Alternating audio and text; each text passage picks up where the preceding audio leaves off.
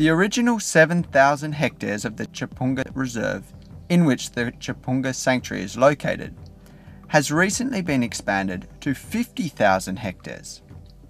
This has allowed the Goodall Institute to protect new ecosystems, including the riverine areas of the Kouilou River.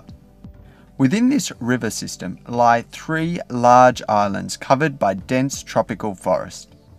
Dr. Jane Goodall and JGI board member Addison Fisher were astonished by the natural beauty of these islands and, together with JGI Congo director Rebeca Atencia, decided to incorporate them into the Tchimpounga Sanctuary.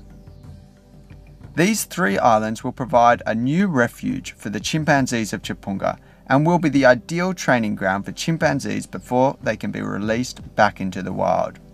With over 100 hectares of forest, the island would be divided into three by electric fencing.